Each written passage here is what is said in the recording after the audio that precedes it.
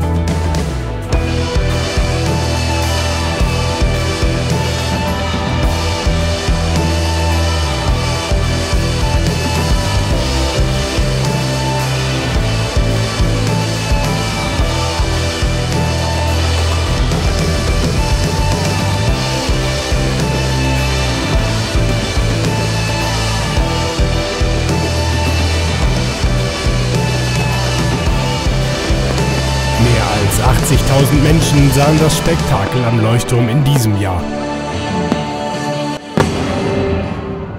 Schicksal.